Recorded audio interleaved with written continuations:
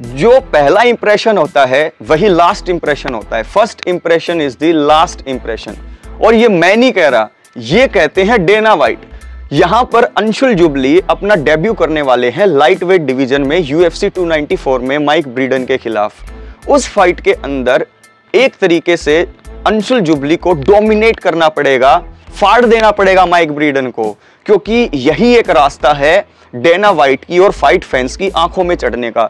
जितने भी आप बड़े बड़े स्टार्स देख रहे हैं आज के टाइम पर, जब वो अपने करियर की शुरुआत में थे और उन्होंने यूएफसी के अंदर एंट्री ली तो उनका डेब्यू और उनकी शुरुआती जो फाइट्स थी, वो ऐसे ही डोमिनेट करके ही वो जीते हैं। चाहे आप बोर्ड निकल को ले लो, चाहे आप जो है हमजत चिमायव को ले लो, किसी को भी आप उठाकर देख लो। हाँ एक आधे ऐसे फाइटर है जो अपनी पहली फाइट हार गए थे, जैसे हफायल फिजीव हार गए थे पहली फाइट उसके अलावा आप अगर देखें अपनी पहली फाइट को मट्यूज गैमरोट अपनी पहली फाइट को हार गए थे यूएफसी में। लेकिन मेनली ज़्यादातर फाइटर्स अपने पहली फाइट के अंदर ही डोमिनेट करके जीते थे।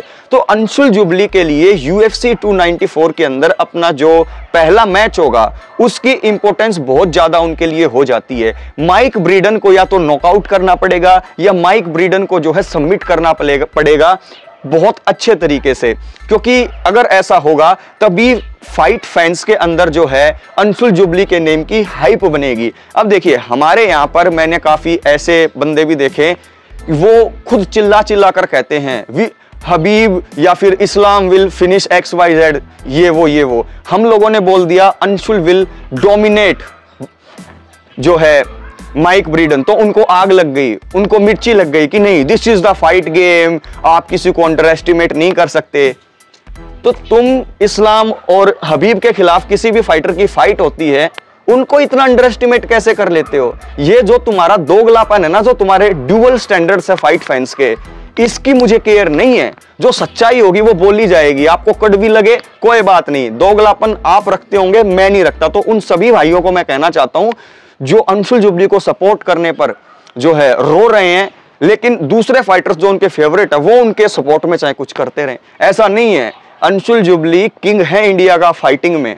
और यहाँ पर जब माइक ब्रीडन के खिलाफ उनकी पहली फाइट होगी तो उसमें डोमिनेट करना पड़ेगा। अगर वो पहली फाइट के अंदर हार गए तो क्या हम उन्हें चैंपियन बनता हुआ देखेंगे? नहीं देख सकते। मैं पूत के पैर पालने में ही दिख जाते हैं। तो सीधी सिंपल सी बात है माइक ब्रीडन एक भी फाइट यूएफसी में जीता नहीं है।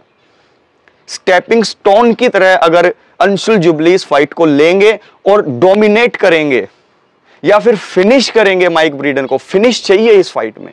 फिनिश करेंगे अच्छे तरीके से तो यहाँ पर अंशुल जुबली के लिए लाइट वेट डिवीज़न के रास्ते खुल जाएँगे और अगले तीन चार साल में हम उन्हें चैंपियन बनता हुआ देख सकते हैं, अगर वो लगातार इंप्रूव करें।